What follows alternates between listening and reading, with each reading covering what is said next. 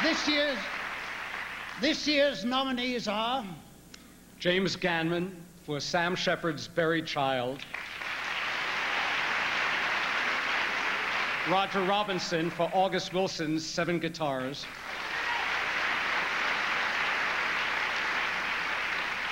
Reg Rogers for the revival of Philip Barry's Holiday.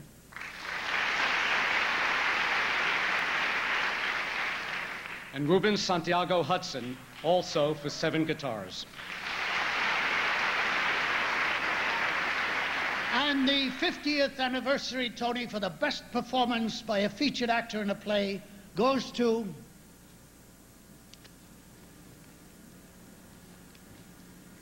Ruben Santiago Hudson for seven guitars.